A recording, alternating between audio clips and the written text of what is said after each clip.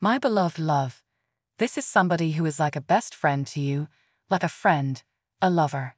I'm getting everything about this connection is just off the charts. But this is someone you genuinely like. Like, there's a level of comfort here as it pertains to this connection. And for some reason, you haven't been in contact with them, and that's kind of. Fath? Fath? You know, worrying you a bit, but at the same time, you have like this calm kind of disposition about the energy of this connection. But when you think about your person, the only thing that really worries you is are they okay? You have a very different energy about this connection. There's no more of, you know, those very antsy kind of anxious energies. Um, as it pertains to this coming together, it's kind of like you already know. It's like you both already know what's happening here. But where you are on your journeys, you feel like, Feth? I kind of feel like the universe has you on a debtor of some sort, and the only thing you're concerned about is, are you okay?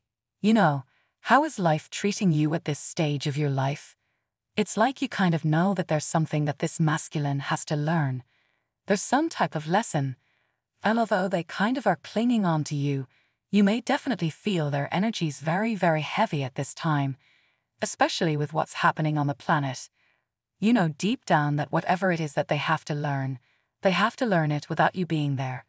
Okay, they have to learn this for themselves. And as it pertains to this connection, I feel like whatever area of their life is being sharpened is directly tied to this connection in some way. But this is a very dual energy, divine feminine. I feel like this may be happening in your life as well. So you may feel like you were pulled apart from your person. Things may have phased out.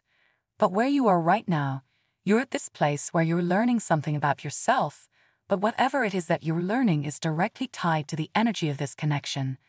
I hope that's coming through clearly because it's almost as if the universe kind of has to step in here and kind of realign things on both ends. But it's to the point where you both may not. The, the, the, you know, have verbalized this or put this out there.